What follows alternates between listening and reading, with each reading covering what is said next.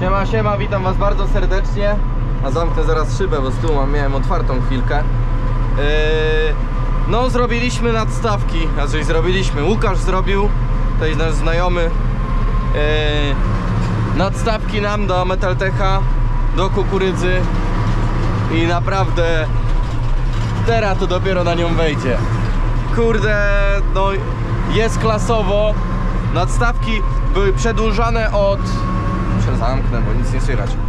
Nadstawki były przedłużane od, od yy, rozrzutnika, którego w tym roku nie będziemy rozbierać, no bo, bo dużo jest z tym roboty, a załatwiliśmy jeszcze jedną skorupę, tą, którą jeździłem w zeszłym roku po prostu z Waltrą.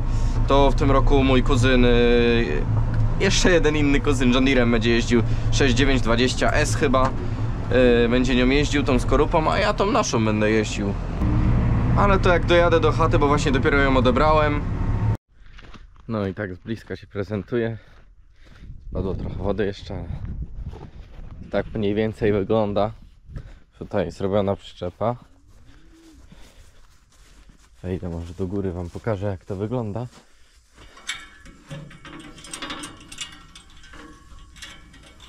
Ale będę jeździł chyba na, na listwie, bo na pytanie jeszcze można załczep złamać.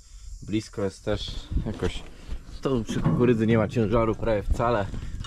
To nie jest obornik czy tam zboże. O. Jeszcze tak to wygląda. Dotąd widać były stare blachy, zostały przedłużone. Później się je pomaluje. Po prostu dosztukował nam e, Łukasz i tak to wygląda. Tu wody trochę. No, no pojemność będzie dużo, no kurde no.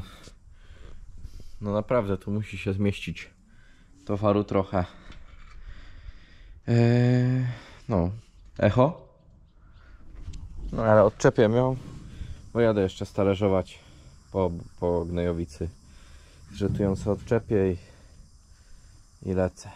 Eee, napadało u nas dużo. A trochę jest do wywiezienia, no daleko, bo daleko, bo ponad 10 km mam dowożenia, no ale tylko trzy beczki tam nawiozę, mała działeczka, a akurat jest jeszcze ściernisko. No i teraz możecie zobaczyć jak wygląda e, przyczepa e, z dorobionymi nadstawkami. Mieliśmy, widzicie tutaj jest takie przełamanie. E, to, to do tej pory były nadstawki przy, przy rozrzutniku, a Łukasz po prostu przedłużył je, dorobił i, i kurde jest naprawdę elegancja Francja, nic tu się nie dotykają. Także no jest, jest konkretny paszowóz do kukurydzy. Także ogarniamy. No a ja zanim tam dojadę to jeszcze łowo jest czasu i czasu. No a trochę wywiozę tego, bo pojutrze kukurydzę będziemy ruszać. Więc trochę trzeba, trochę trzeba się pozbyć tego yy, tej gnojowicy. Jedziemy poniżej 5 na godzinę. Tutaj trzy beczki będą. Mówiłem, taki kawałeczek jest. W tom i z powrotem idealnie się beczka łapie. Także jest około jakieś 30 metrów szerokie. Długie na nie wiem 400 metrów.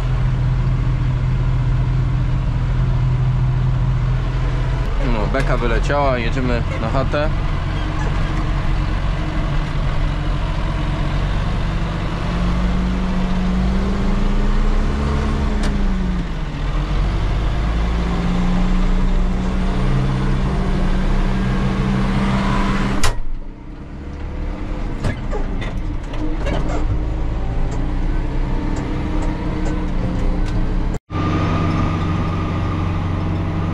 Cofamy elegancko.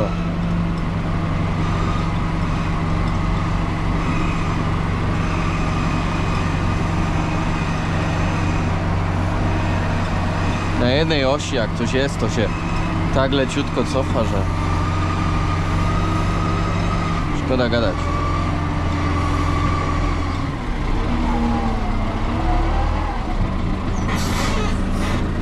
Coś takiego chyba. Chyba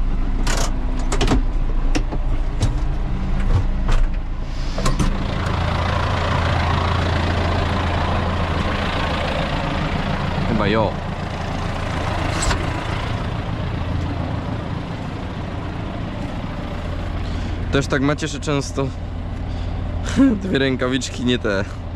W sensie, że te obydwie są e, prawe. No mi się często zdarza. Gdzieś się gubią i później są dwie prawe. No ale nie chciało mi się szukać kolejnej. To łączymy sobie już. I wyłączę jeszcze małego zatora. Niech to się niesie.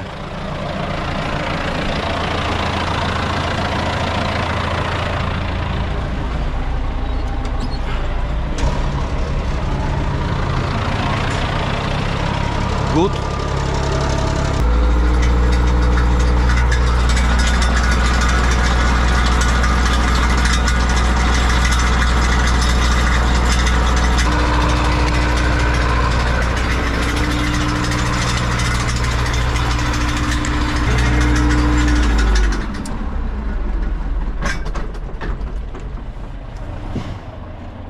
Jedziemy ostatni raz.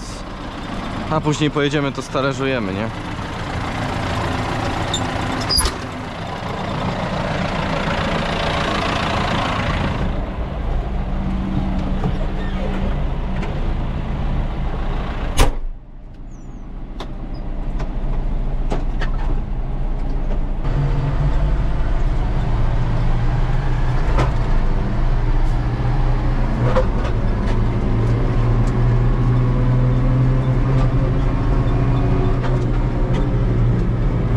no. Trzyma bekę jak beka trzyma jak nie wiem, ciężar jest.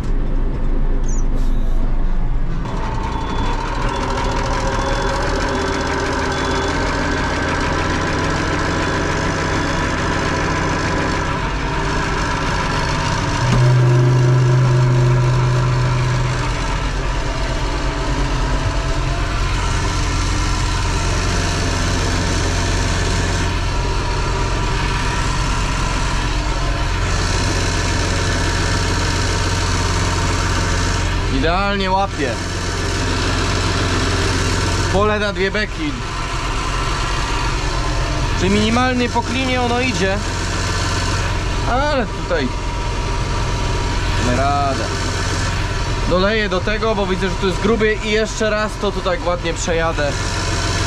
Pojechałem cieniej, bo nie wiedziałem e, na ile to by starczyło.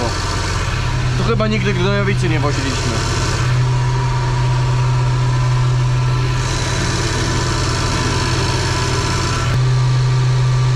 Tu jak grubo nalałem.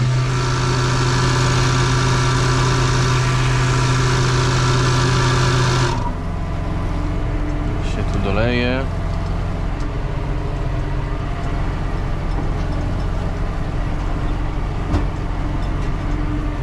Nie wiem właśnie czy trochę dalej to nie było.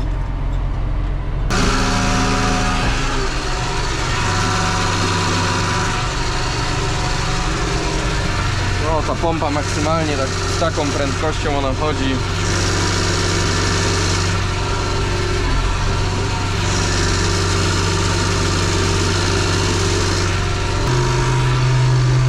Nie no, nalane jest elegancko. Fajnie. Grubo. O i koniec. Tam z tyłu też jest dobrze nalane na ten krzyż to. Niech ciśnienie zejdzie i... A tutaj taki krzyżyk jest. Ale to już sru.